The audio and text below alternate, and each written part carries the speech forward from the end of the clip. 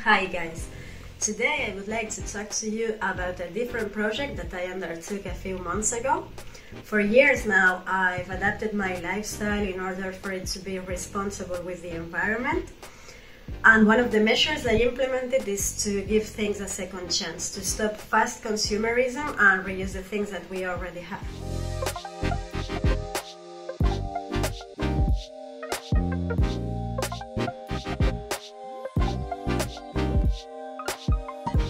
I realized uh, I've accumulated over the years many drawstring bags and tote bags that were given to me by companies or when going to conventions.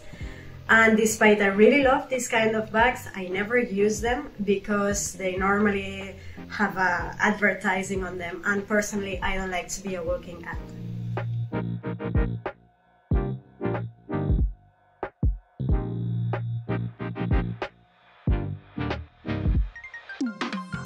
So as the bags are made with really nice fabric, I reuse them and paint illustrations on them.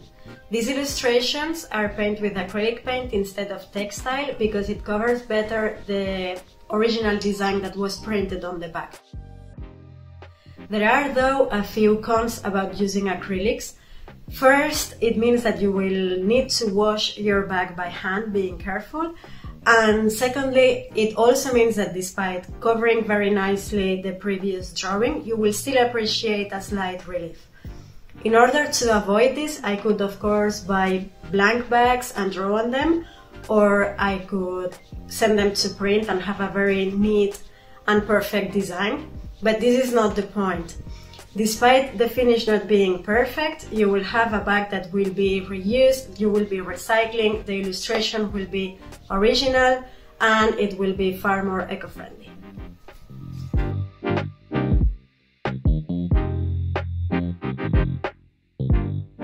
I love tote bags for summer, so in order to show you, I painted this one with a portrait of Carl Sagan on, on it. Um, I will keep this one for myself.